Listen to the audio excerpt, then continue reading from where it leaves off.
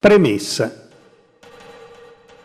Una delle poche cose, anzi forse la sola che io sapessi di certo, era questa, che mi chiamavo Mattia Pascal.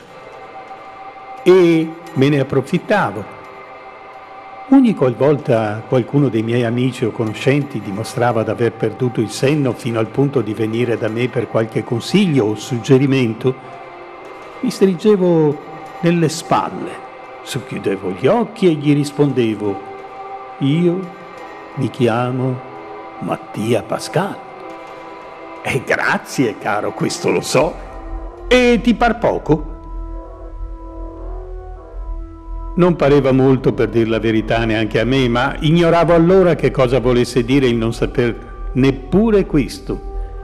Il non poter più rispondere, cioè come prima, all'occorrenza io mi chiamo Mattia Pascal.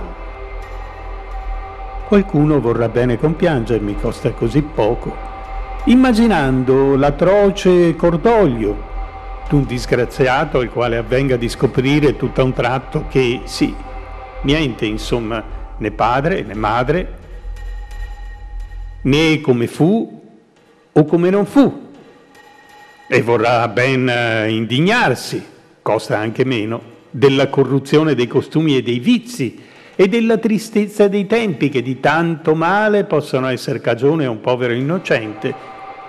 Ebbene si accomodi. Ma è mio dovere avvertirlo che non si tratta propriamente di questo. Potrei qui esporre di fatti, in un albero genealogico, l'origine e la discendenza della mia famiglia e dimostrare come qualmente non solo ho conosciuto mio padre e mia madre, ma e gli antenati miei e le loro azioni in un lungo decorso di tempo, non tutte veramente lodevoli. E allora? ecco il mio caso, assai più strano e diverso, tanto diverso e strano che mi faccio a narrarlo. Fui per circa due anni, non so se più cacciatore di topi che guardiano di libri, nella biblioteca che un monsignor Boccamazza, nel 1803, volle lasciar morendo al nostro comune è ben chiaro che questo Monsignore dovette conoscere poco l'indole e abitudini dei suoi concittadini, o forse spero che suo lascito dovesse col tempo e con la comodità accendere nel loro animo l'amore per lo studio. Finora ne posso rendere testimonianza. Non si è acceso. E questo dico in lode dei miei concittadini del dono, anzi, il comune si dimostrò così poco grato al Boccamazza che non volle neppure erigergli un mezzo busto, pur che fosse.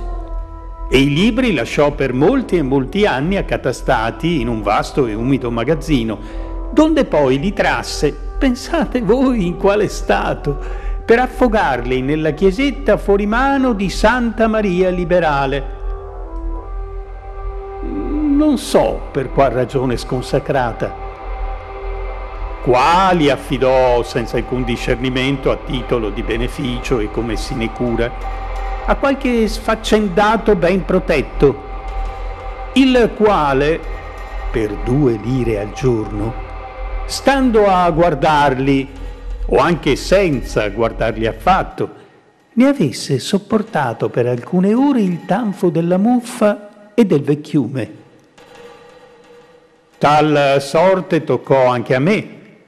E fin dal primo giorno io concepii così misera stima dei libri, siano essi a stampa o manoscritti, come alcuni antichissimi della nostra biblioteca, che ora non mi sarei mai e poi mai messo a scrivere se, come ho detto, non stimassi davvero strano il mio caso e tale da poter servire d'ammaestramento a qualche curioso lettore che per avventura riducendosi finalmente a effetto l'antica speranza della buonanima di Monsignor Boccamazza, capitasse in questa biblioteca, a cui io lascio questo mio manoscritto, con l'obbligo però che nessuno possa aprirlo, se non 50 anni dopo la mia terza, ultima e definitiva morte. Giacché per il momento e Dio sa quanto me ne duole. Io sono morto. Sì, già due volte, ma la prima per errore e la seconda sentirete.